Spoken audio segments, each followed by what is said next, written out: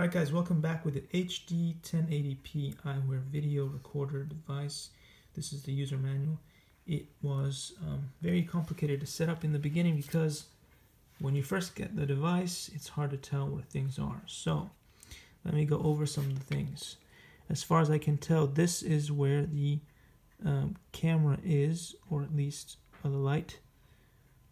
And um, behind here, if you can see, there's a button this is what you're going to be using to turn the device on and off and take pictures and videos with.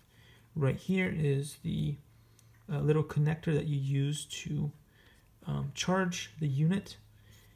Um, as you can see here, there's a sticker on this side, so don't open the side. Uh, what you will find is on the other side, if you remove these, you can access the battery, but I highly do not recommend you opening that up. So it says you must install an FT um, FT card or basically one of these micro SD cards things here. And how you do that is as you can see right here or you can't see because it's really hard to see there's an opening there. And I do believe that one of these things will slide in there. I haven't tried it yet so this is yeah looks like it does fit in exactly as expected and it does not interfere with the movement there so there you have it. This is what you're going to do.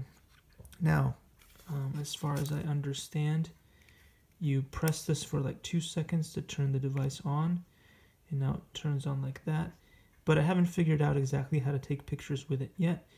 Um, I'm guessing because I want to use it for taking videos of when I fly planes and stuff like that um, so I don't have to have a cameraman to do it. I just press this button and hopefully it will record something. But I'm not sure if it is or not.